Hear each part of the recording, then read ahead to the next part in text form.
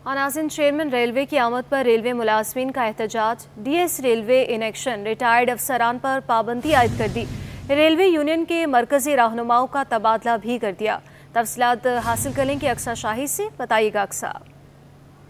जी, बिल्कुल, गुजशत रोज पहले जो है वो चेयरमैन रेलवे की आमद के मौके पर जो है वो लोकल शहर का चेयरमैन ने जो वो दौरा किया था, जिस पर रेलवे मुलाजिम की जानब से जो है वो एहतजाज रिकॉर्ड करवाया गया था, जिसमें रेलवे यूनियन के मरकजी रहनुमा और रिटायर अफसरान भी जो है वो शामिल थे। बीस के खिलाफ नारेबाजी पर जो वो डी एस जो है वो एक्शन लेते हुए रिटायर अफसरान पर रेलवे किसी भी डिपार्टमेंट पर जाने पर जो पाबंदी आयद कर दी है, जबकि रेलवे जो मुलाजमीन है इसमें काम कर रहे हैं रेलवे के, उन पर उनका जो है वो तबादला कर दिया गया है। एहतजाज जो है वो बिजली के बार बार कटने और पानी की लोड शेडिंग के खिलाफ जो है वो रिकॉर्ड करवाया गया था। रेलवे यूनियन के मरकजी रहनुमा को जो है वो तबादला किया गया है। लोको शहर general store Karachi cantt C and W shop Hyderabad और रेलवे की तमाम तनाजात पर जो वो दाखिला जो वो ममनू करार दे दिया गया है डी एस जो वो नोटिफिकेशन जारी कर दिया है जबकि जो अफसरान है रिटायर अफसरान में जो है वो जुनैद एवान माजिद सोलंगी नसीम राव मंसूर मल्ला मंजूर अज़ीज़ है वो शामिल है और तबाया तबादला करने वाले अफसरान में जो है वो शाहिद इकबाल वलीद असलम अब्दुल हमीद जो है वो शामिल है इनका नोटिफिकेशन जो है वो जारी किया गया है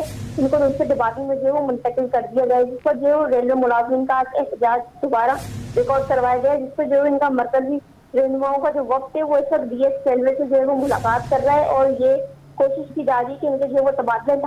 ना किए जाए। जी। जी, बहुत शुक्रिया अक्सर शाहिद आपका।